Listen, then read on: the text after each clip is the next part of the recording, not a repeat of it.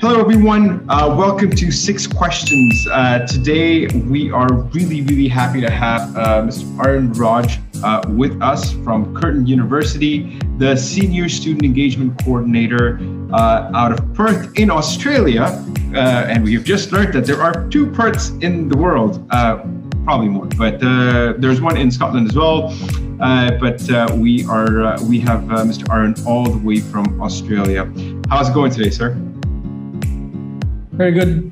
Pretty good, Abzeen. Not bad. We just, uh, you know, I think we are the uh, only state in Australia at the moment that doesn't have a lockdown. So, or maybe besides the Northern Territory. So, yeah, we're doing life as normal and getting vaccinated, all that stuff. very good, very good. Um, and we're really happy to have you on the show. Of course, uh, you know, Alimus uh, Six Questions uh, is all about student engagement. Uh, it's all about speaking about students and talking and sharing ideas uh, with the rest of the world and uh, people in your, uh, you know, people in your space. Um, so the first question that uh, we have for you, and the first question that we ask everyone is, can you tell us a little bit about your professional journey leading up to this point? Not a problem, Abzi. Um, so I've started. I started off. Uh, I've done. I won a few different hats in in my career so far leading up to my current uh, job, and I still do a few of those things on the side. So I've, I've been I've been trained formally as a software engineer. That's from '97 those days in Singapore because I hail from Singapore, and I've moved to Perth um, after not really enjoying life in that um, space it, it, was a it was a difficult time because it, everything got cheaper and wages were stagnating, um, and there was a lot of competition from uh, the likes of India and China, uh, where people were outsourcing a lot of the jobs, and so we weren't. I wasn't getting a lot of, I suppose, quality uh, time. Life life wasn't um, great, so uh, I had the opportunity to go to Perth to uh, further my studies, and I went to Curtin, which is where I got a job as well after four years studying mass communications and screen arts. And I was lucky enough because of my skill sets in IT and you know um, my interest in creating videos um, that I was able to secure a job creating content for orientation.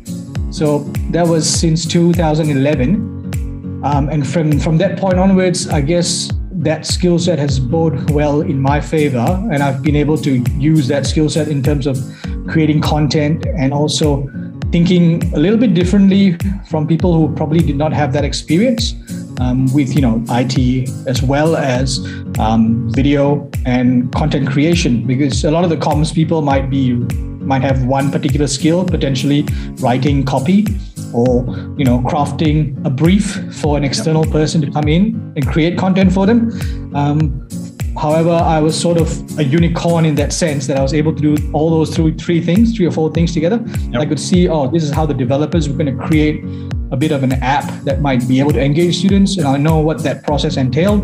I was also able to look at messages that people wanted to put across and say hey maybe we need to put this up front because students really care about the free stuff potentially you know yep. so just just having that skill set was really um, brought me to a, a good stage uh, where i was in demand at curtin and i think um, yeah that's where i'm sitting at right now um, where we try our best to use technology you know because of the state the world is in curtin is pretty um, uh, I suppose, on the forefront of our satellite campuses as well, having uh, campuses in Dubai, um, you know, um, Mauritius, Sri Lanka. We've got a, a, campus, well, a partner there, Singapore, Malaysia, um, and yeah, and I'm sure the the, arm is, is sort of sticking out, sticking out to other parts of the world as well.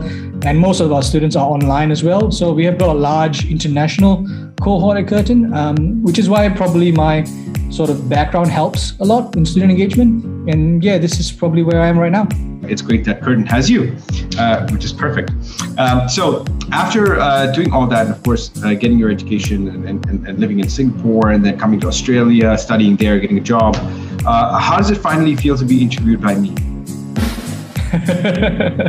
it's just a conversation, isn't it, Abzi? it's great. It's good to share and, and, and think and think and talk to like-minded individuals who have, I suppose, the same interests at heart. You know, we're, we're both um, really interested in how we can engage with up and coming, um, you know, students as well as you know the, the leaders of tomorrow. Really, that's what I like to call people we're talking to because you know after we are gone, the ones who are going to be um, carrying on the mantle, so to speak. So, uh, thank you so much for that, uh. Uh, now, before we go into the second question, uh, we're going to ask you to open up uh, the Alimus application uh, and go into the upcoming events, and then you will see six questions. So, I need you to RSVP for the event. Scan. All right. So, Okay. uh, yeah. Here you go. There. All right. Perfect. All right. So, question number two is uh, how do you ensure student voice uh, has a place in the events and courses that you organize? Yep. So student voice is extremely important for the way we um, promote, run, um, and, and and sort of um, yeah scale out the events that we that we organize. So um, I my part of my job is a uh, program coordinator for the student consultative committee, um, and this is 70 odd students from the Faculty of Business and Law.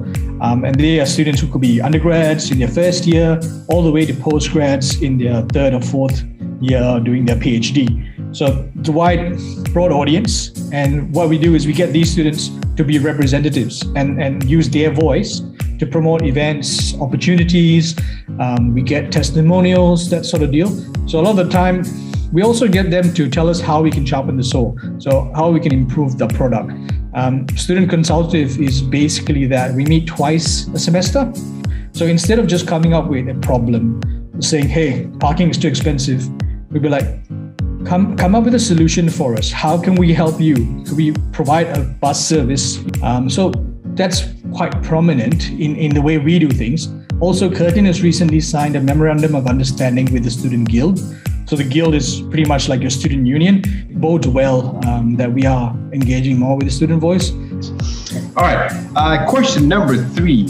Uh, what are the methods uh, you use to collect student feedback? So we talked a little bit about student feedback, but how uh, do you how do you you know how do you make sure that you can get uh, the most? What methods do you use?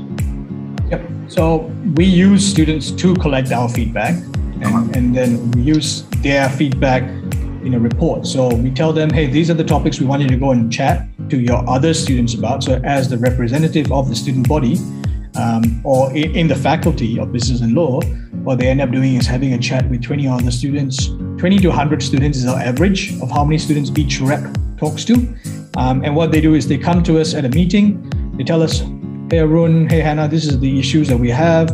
Um, this is what student A said. So it's all confidential, but it all goes up to the higher um, management. So that's that's how the, the SCC or the Student Consultative Committee works. Um, and it happens at each faculty. So each faculty is supposed to have an SCC at Curtin. Um, and so far it's running really well. And actually, coincidentally, in the next couple of weeks, we're looking at how we can um, do this specifically for the MBA program. All right. So now that we're done with the three questions, uh, it's time for the halftime break uh, and then the halftime question. So this is a very, very, very, very, very, very difficult question that we will be asking. Um, and uh, we will be uh, asking you to take out your application once again. So take out your phone again, uh, and uh, you can enter in the Alimus Classroom 101. Uh, this is my classroom. I decide the rules, I decide the questions, I decide the answers. Um, I've always wanted to say that. All right. Uh, so now that uh, we can, it should say attend lecture, and then there should say show QR code. Okay. So not yet. No, no. Well, everyone does that. Not yet. You first have to answer the question, and then we give you the points. Oh, Please. no, I thought you were going to attend the. que- Is that to attend? Uh, we needed to show you the QR code to attend it. Well, no, you, you need to. So as soon as you click on attend now, Okay. uh, the timer starts, and you actually get points for every second that you keep your phone Okay. inside and attend the lecture. Uh, Yep. Anyways, your question for today, halftime, very, very, very, very, very difficult question, is since you are tech oriented, we will ask you when was Facebook formed? And you have four options. Okay. Um, it was formed yesterday. It was formed last month. It was formed in 2020, or it was formed in 2004. That's really difficult. It is. So it is. Yeah.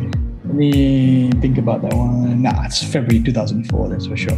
February 2004. Wow, you actually know the date as well. That is amazing. Did you just Google I it? just watched, no, I actually watched The Social Network recently. Oh wow. Okay. All right. So we're gonna give you the kinda points now. Yeah, we're gonna give you the points. So if you want to show me your QR code now, then I can sh- I can actually give you your points for it. Yeah. Yeah, it's a bit uh, bright. Uh, that is fine. We'll give you the points. Yeah, that's good. Uh, don't worry about it. We'll give it to you right here. So um, the students can uh, we can give you we can give students through the camera, uh, or, Yep. you know, online, or you could do it through the uh, or the students can just uh, if there's too many students, they can just request the points and the professor can add it in later. Um, you know, we have multiple ways of getting uh, students their points, and we see that they they love it. I mean, on the and it automatically updates.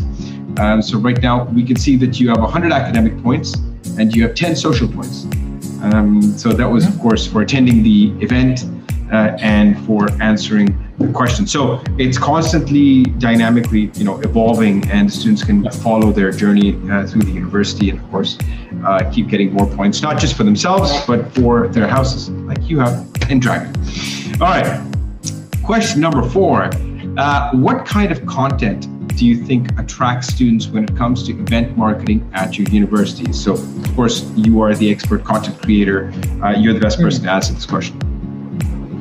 I guess um, again, it really depends on the type of event that we're running and, and what the nature is of the event is. So we have a lot of online as well as face-to-face events um, at Curtin, um, due, just due to the pandemic and also the student cohort nature. A lot of the times we do. Um, it, it needs to be a, a campaign and not just a, one particular type of content that we that we often uh, if we have something that we really really want to push or like an event that's beneficial to the students and to us then we end up doing a campaign over weeks or months leading into the event so we do a little bit of an awareness push at the start of it and that's um, through a news campaign that goes up on their portal you know, it comes up as a little link. Hey, did you know that this is happening in August? Let's say we're in June. We say, you know, you might want to ex- uh, click on this link and show an expression of interest or start registering now. And then there might be a calendar invite. And then later on, a couple of weeks later, so once semester is sort of in full swing and maybe a couple of weeks away from the event, we might post a short video um, talking about what the benefits are and, you know, a reminder go register for this event because of this, this, this. We might have a few student testimonials in there, um, as well as um, one from a staff member who might be, you know, a, a keynote speaker potentially of an event, let's say. Um, and then at the end of it, there's also um, probably the week before we do a reminder to all those attending the event, um, and also um, we might do a last push if we really need uh, people and we don't have enough numbers. So using that student voice again, um, that's the kind of content that we try and create rather than have a, a boring event this happening at this time register here we have a little bit of a story that goes with it Uh, yeah, and so giving them giving them incentives to show up is always is always really really Pretty good. Um, So now that we use, I mean, we talked about incentives. the It, it leads right well to the next uh, you know question as well. Uh, what are your thoughts on gamification, and what role does technology play in the success of student engagement? Yeah. We have been trying to gamify a lot of our stuff for the longest time, but it's always about buy-in, isn't it? So um, we can try. We've been trying to gamify our screens, our touch screens, um, so that students will engage with other content, and the, the, the, the, gamification touch helps them to helps to lure them in. So it's that in sort of incentive, but uh, you know, when students walk past a cafe, for example, and there's a touch screen of a menu with just like fish going around, like a pond, and it says touch to start, and you touch a fish and it jumps up or something like that. We've done that in the past, and that sort of helped some engagement in that context, but there's a lot of more that we can be done. So even with learning, for example, if you gamified a bit of, you know, a bit of a quiz at the end of it that gave you those points, like you know, you guys are talking about, Yep. um, that completely, you know, even if you are most disengaged, you might click on it just to see what it's like. Yep. I reckon, um, yep. and especially if it's so easy, it's on your phone. You don't eliminating the, the steps that it takes to also interact is really useful. You know, instead of saying, "Hey, go to this particular page or that page," just a link yep. within something they're already in. Yeah. Um, yeah. So, question number six is having heard and seen what Alimus is, and I know you, you I know what you're going to say about this already uh, because you you are a fan of gamification. I think it works really well. You know, we talked about incentive incentivization. We talked about the social aspect of, of student life. That um, you know, you've got you've got um, Instagram feeds as well, the hashtags and all that. It aggregates content. Um, it looks like something that is well thought out sort of system. It's got a bit of interest, so you have a bit of a preference center that you can build. Um, I don't see why it wouldn't work um, in, in, any sort of area that's looking to to um, improve engagement or for, for universities or institutions that don't have an app or app already or are looking for ways to to in, embed technology into not just the curriculum but also you know the social aspect of things looks like it's um, it covers a lot of those, it ticks a lot of those boxes. Absolutely. Yeah. And you know, I mean, even if uh, most you know most of the universities uh, or colleges uh, they do have their own uh, their own applications, but ultimately they are information giving uh, apps yeah. as opposed yeah. to interactive uh, applications. And uh, honestly, it's just the same as you know a website, right? Uh, or you know, to take your example, the static screen uh, that was before, and now when the fishes are going, you want to sort of tap, tap on them, and it increases student engagement. Um, as long as you can interact with something, right? Um, you know, it's uh, it's always better.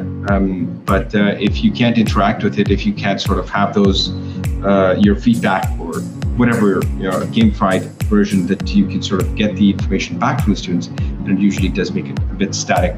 Um, all right, perfect. So, thank you so much, uh, Arun, for being on uh, six questions with us.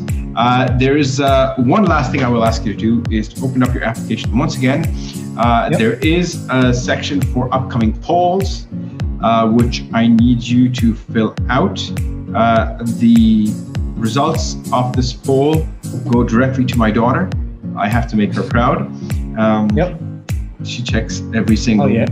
Uh, she checks. This interview. How do you yeah. like the interview? Uh, yeah. yeah. Yes, Papa. How was your interview today? I was. I was good. I was good. Show me your rating. Yes. Um, here it is. Uh, I Papa did good today. Uh, I'm just kidding. She's she's two and a half. She, she's she's not. Um, she she can't bully me yet. But well, who am I kidding? She already does. Uh, she went house already. uh, she bullies everyone. Anyways, uh, thank you so much uh, for being on the show, uh, and uh, thank you so much for sharing your thoughts on you know student engagement, content creation. Uh, I know a lot of uh, universities are looking for um, content creators or uh, even how to do content creation. I think it's, it is a big buzzword and, and, and, topic in today's day. So thank you so much for sharing your thoughts on it.